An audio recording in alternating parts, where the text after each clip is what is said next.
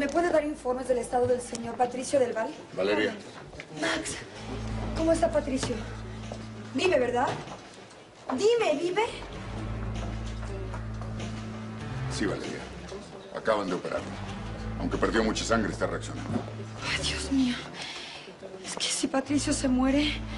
Max, pero ¿qué ocurrió? A Patricio lo hirieron. Un ganadero. Pero tranquilícese, don Miguel. Está atendido y reaccionando favorablemente. Mal.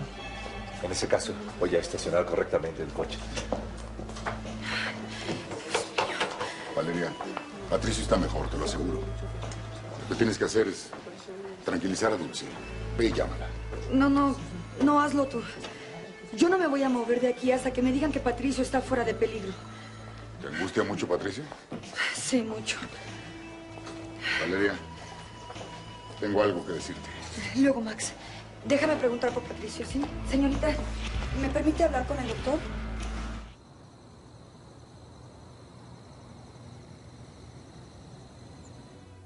Qué inconscientes son.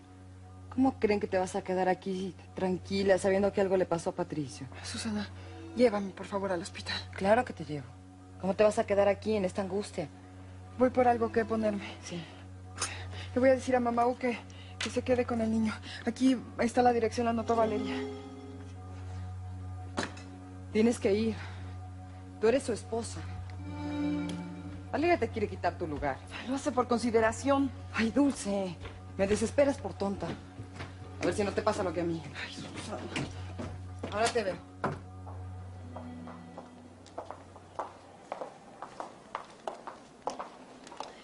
¿Y Salvador dónde está?